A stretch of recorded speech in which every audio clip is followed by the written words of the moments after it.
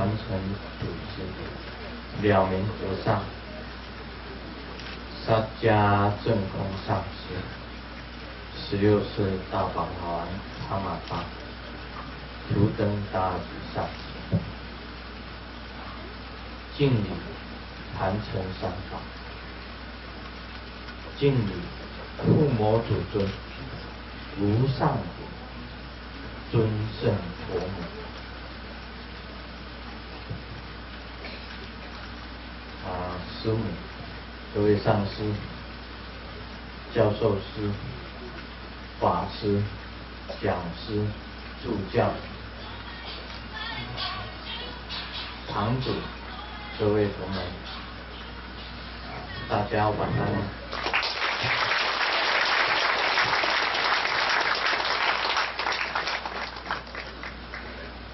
那么，首先呢？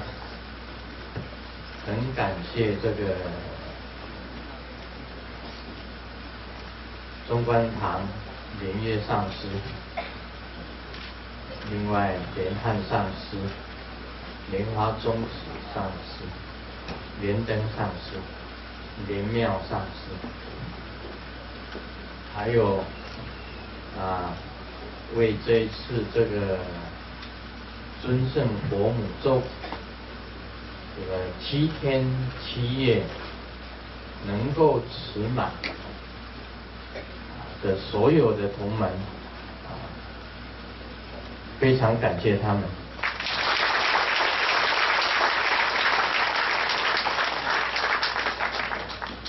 那么尊胜咒是如来无上顶的光明。所化现，呃，尊胜佛母，也就是如来的无上者，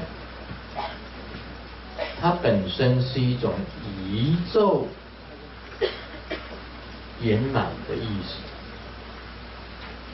这个 from，from，from，其实我们每一次在做圆满的时候，都是念 om。不灵，嗡不灵。其实嗡不灵是传到这个，传到这个我们台湾来的时候才念嗡不灵。其实应该讲起来就是不隆哄，不隆哄，不隆。From，Om，From，就是宇宙圆对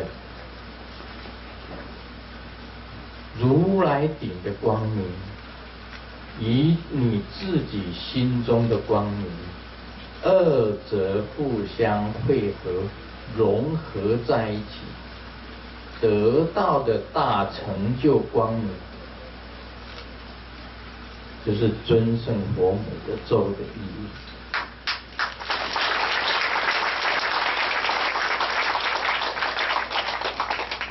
如来无上顶的光明，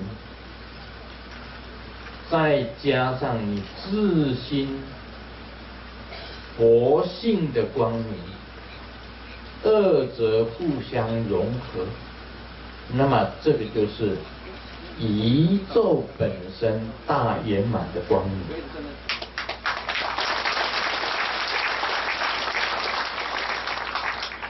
啊，莲月上师他跟我讲，我请师尊这个说明尊胜佛母咒它本身的意义，它的意义就是在这里。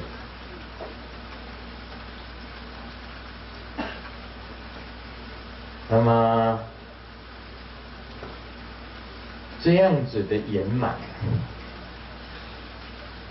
这个是其实是我们人世间把它污染，本来是圆满，但是是因为众生把它污染，原本是这样圆满的。既然被众生污染，那这里我讲一个这个就啊，有一个寺庙，它墙壁本来是很白的，但是它光光的寺庙，就很多众生去去观光了以后啊，他就是在这个墙壁上啊，啊，提上自己的名字，叫做孙悟空到此一游。一下子呢，就把那个墙壁通通给他写满了，每一个人都到此一游，都写满。这个住持一看，唉，这个众生就是这样，他就找一天呢，找那个油漆匠，全部再把它粉刷成为白色。他一想，这是观光寺庙。还是会有人来写，他就自己写了几句：此处不准写，此处不准写。然后来了这个观光客以后呢，这个观光客一看，就写了一句，也写了一句：为何你先写？啊！突然之间又来了一位啊，他一看，此处不准写，为何你先写？他又想了想，哎呀，再写上一叉子，要写随他写。啊，最来了，又来了一位，一看，此处不准写，为何你先写？要写随他写，他又补来一句：大家一起写。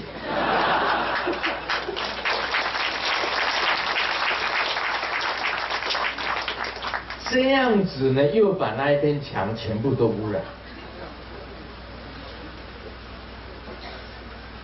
那么宇宙本相，尊胜佛母的本相。它就是本来就是一片光明，一片白的光明。我们人本身的佛性，也一样是一片白的光明，无后无尽。整个宇宙的现象，这样子就圆满。那就是给众生所有的本身的念头啊，给他污染。所以持这个尊胜佛母的咒，原则上讲起来，就是发现你自己的佛性，跟宇宙本来的清净法身佛法身，互相的融合在一起。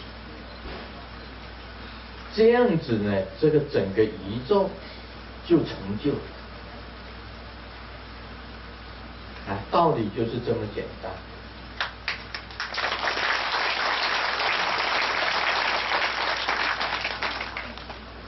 啊，我们今天来的人是很多，来的呃弟子很多，因为昨天我在这个台湾雷上是讲，这里有中观堂。闭关中心，土城连夜上师发起的这个尊胜佛母咒，七天七夜，这个结檀覆摩。那这个我们持这个咒有什么意义呢？清除所有的业障。而幽冥众等的业障全部清除，全部往生佛国。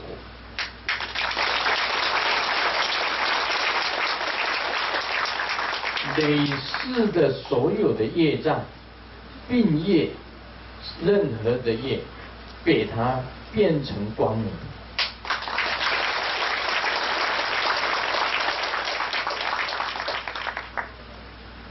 那么增加我们光明的智慧。增加我们光明的福分。那么，让我们一切都是圆满，一切的怨敌啊，一切全部化为光明。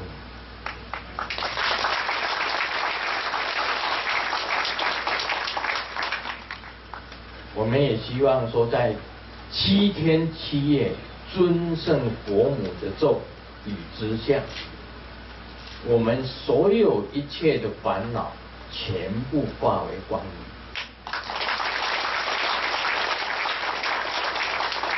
啊，这个是很好的一件事情哦。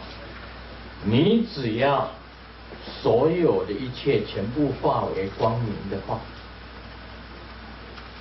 那么一切都成就了。啊，不管是怎么样子，通通都成就了。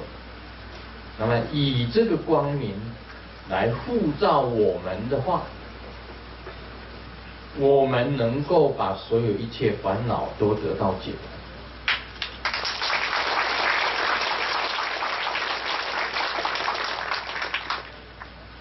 这个世俗啊，跟我们这个圣地完全是不同。那么在在圣贤之前，我们是一切都是圆满的。这个附魔非常的圆满。那么，我也看到呃尊圣佛母的光明显现。它首先显现呢，是结，作为一个结的显现啊，一块一块的光明这样子。铺满整个虚空之中，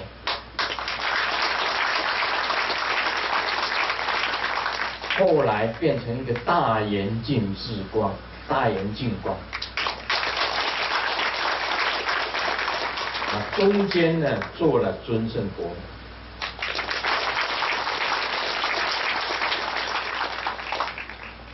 啊，非常的殊胜，可见呢这一禅的这个。七天七夜的尊圣佛母咒，到了结坛覆魔的时候，一切都非常的圆满殊胜。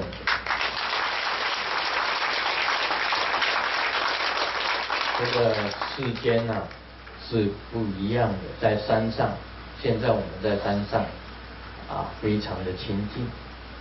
那么山底下就不同了，啊，那个是世俗的世界。我们山上聚集了那么多人，山下照样有很多的人。啊，希望这个尊圣佛母的光，也能够照遍所有的众生。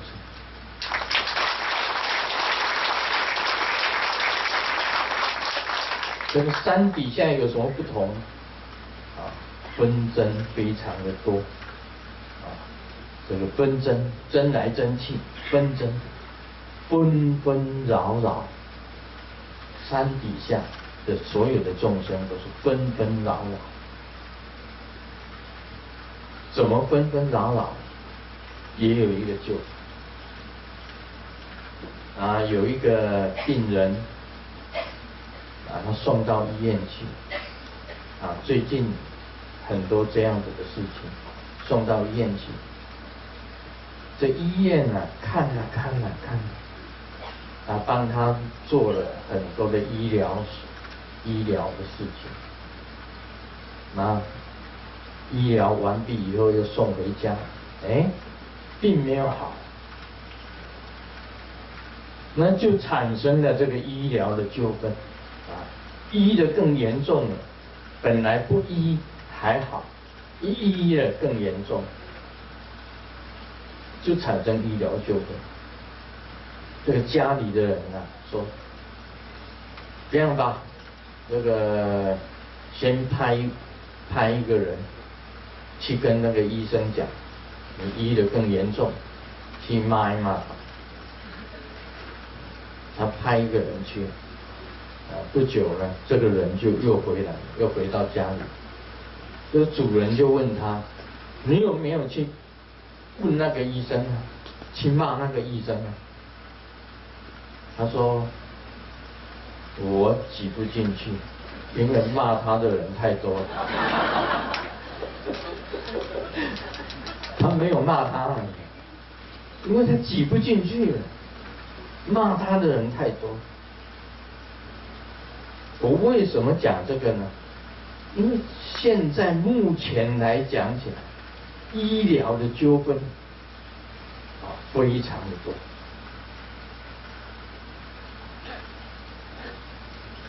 人呐，难免是有不平的事，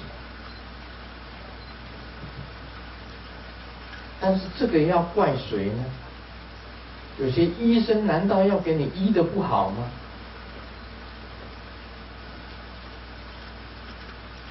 是医疗的疏忽吗？如果是真的医疗的疏忽，啊。医生是应该要有所损失、有所赔偿，但是如果不是医疗的疏忽呢？是这个病人本身的病业呢？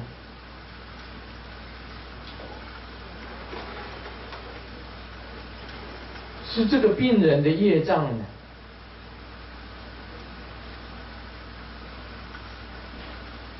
很多事情是很奇怪的。同样一个药，医这个人他好；同样的药，医那个人他不好。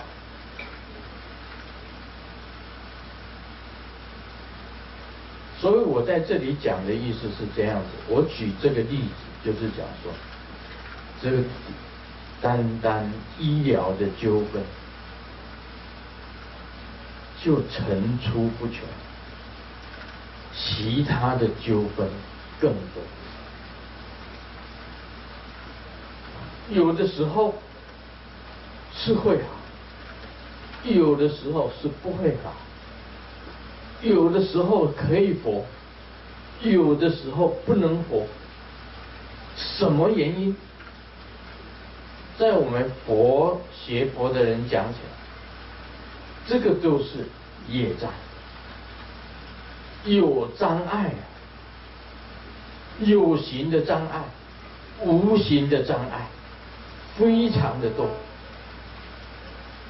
有形的障碍还可以讨公道，无形的障碍你哪里去讨公道？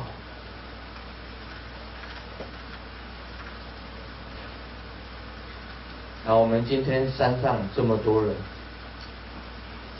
山下也有很多的人，无数的无数的众生，懂得佛法的就知道，我们众生有很多的业障，借着七天七夜的尊胜佛母咒，把它清净了。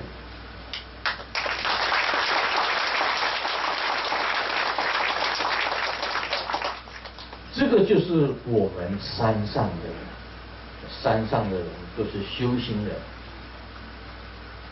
才能够把业障给他清除掉。山底下的人众生不懂得清除自己的业障，他怪这个有形，怪这个无形，他不知道有无形，只是怪有形。事实上，每一件事情的发生，每一件事情的纠纷，大半都是自己的业障所成。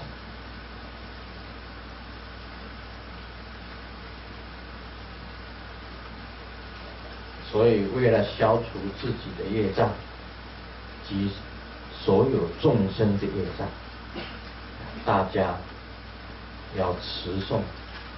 尊圣佛母的咒语。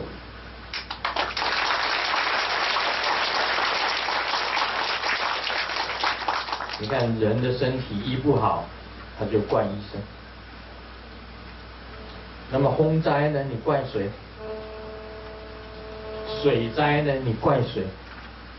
地震呢，你怪谁？火灾呢，你怪谁？尤其是地震，你看地震好，你地震要怪谁？没得怪。有没有人说因为地震的关系，所以他怪怪政府？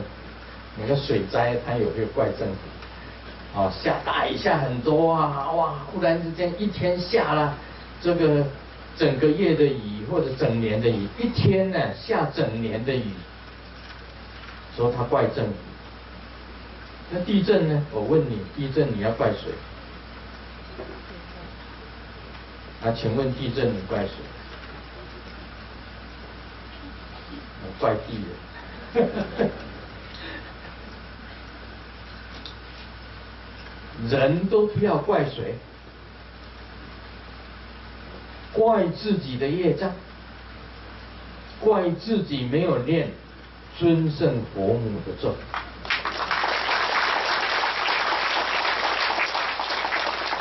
怪自己没有把自己的业障给它清除掉，怪自己。不能把自己的烦恼清除掉，你能够把自己的业障清除，把你的烦恼清除，你心中的佛性就会出现。你的眼睛啊，不用向外看，你有经管脉，从眼睛啊到你的心啊，有一个脉叫做经管脉。当你的眼睛呢向内看，看见自己的佛性的时候，经过这个经管脉，看到自己的新的莲花开放，看到你莲花的中心，它本身出显现了佛性的光明。这个时候，你就知道，你自己的烦恼全部消除。你自己的业障也全部消除，啊！希望大家能够精进的持咒，我妈那边没空。